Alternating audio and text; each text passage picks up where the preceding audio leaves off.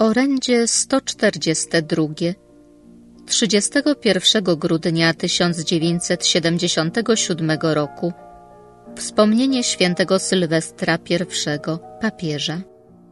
Koniec pewnego okresu. Synu mój umiłowany, przeżyj wraz ze mną ostatnie godziny tego roku. Był on naprawdę nadzwyczajny dla mojego ruchu z powodu otrzymanych łask. Upłynęło sześćdziesiąt lat od momentu, gdy ukazałam się w ubogiej Kowada Iria w Fatimie, aby przynieść ludziom moje ważne orędzie. Dziś to orędzie staje się bardziej pilne i aktualne. Aktualne, ponieważ nigdy ludzkość nie była tak blisko własnego zniszczenia jak teraz. Pilne, ponieważ to, co postanowiła Boża Sprawiedliwość, realizuje się dziś stopniowo i szybko. Przyjmijcie wszyscy najmilsi synowie pełne trwogi wezwanie waszej matki.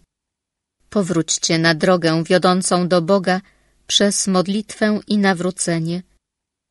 Daję wam dziś środek, który Ojciec wam ofiarowuje, aby wam pomóc w powrocie do Niego.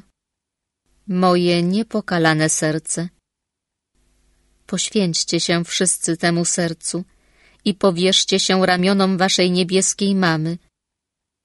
W tym kończącym się właśnie roku mogłam jeszcze powstrzymać karę dzięki modlitwom i cierpieniom wielu moich dzieci.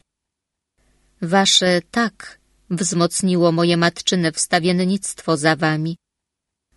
Jezus zechciał jeszcze powierzyć swojej i waszej matce ostatnią możliwość zainterweniowania w celu doprowadzenia was do zbawienia i złagodzenia wielkiego, czekającego was bólu.